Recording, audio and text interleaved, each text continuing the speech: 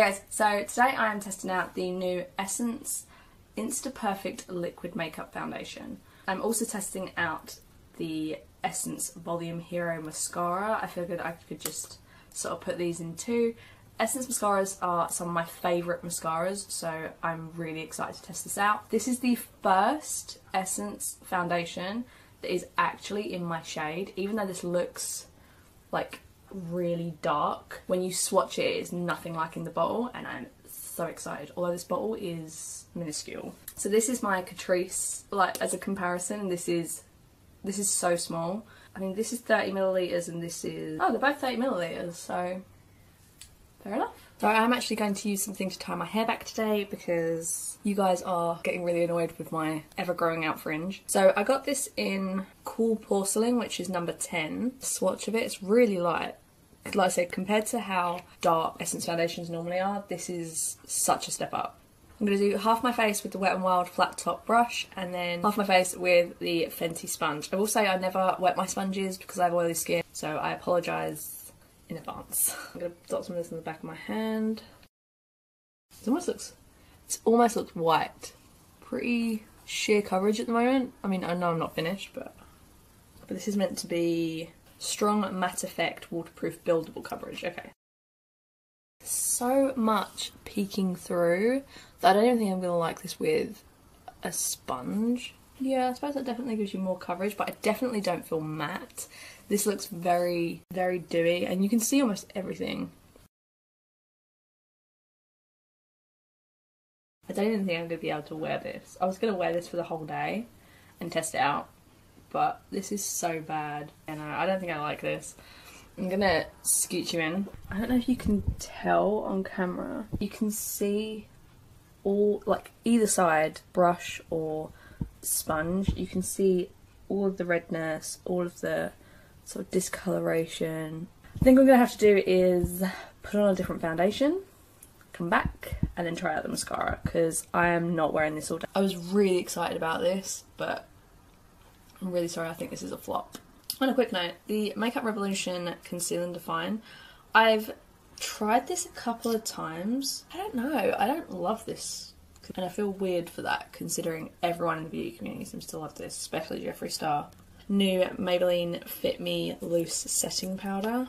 I love this packaging, like I love how it's a square, but I need a sifter.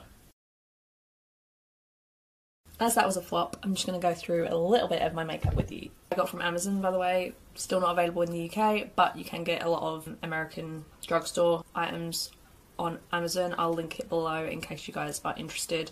Okay, so I'm going to use my uh, multitasking powder brush by EcoTools and I'm just going to quickly bronze my face and blush my face with the Emily Edit The Needs palette. Um, I got this the other day. I haven't really used it very much, but oh, it blends out nicely. I was expecting to have to blend for a while, but that blended out really nice, really quickly. I went in with Courage and I'm going to contour with my uh, Profusion Blush and Bronze palette. This is so good. This has so many blushes. It has a highlight shade, which is a little bit too dark for me. And then it's got all of these blushes and then these two bronzers and contours. So I'm going to use the light powder. This is a really nice contour brush as well. Wouldn't use it to bronze. Then I'm going to take Joy. I can't even say I'm reviewing this palette because I've got to try a different eyeshadow palette out. So I can't try these eyeshadows yet, but I will let you know in the description. And then for brows, I'm not going to do highlight because again I'm doing highlight in a different video, but I will do brows really quickly. So this is probably my new favourite brow pencil and that's over the Anastasia Beverly Hills Brow Wiz. This is the Kat Von D signature brow. The applicator, it's not, it's like a straight line, so you get really good brow hairs. Effortless, and I love that.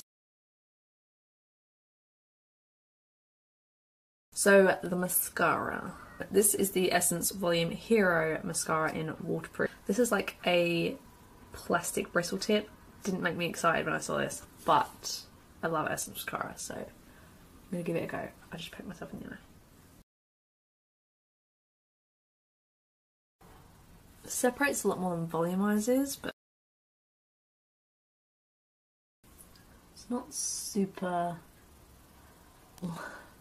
layerable, but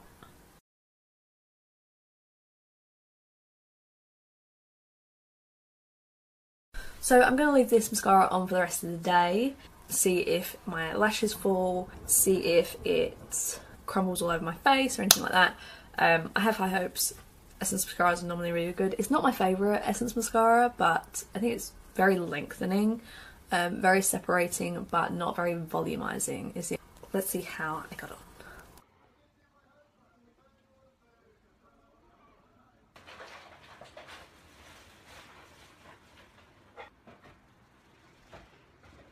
So I hope you enjoyed this video. Please leave a like if you did, subscribe if you feel like it, and I hope to see you all very, very soon in the next one.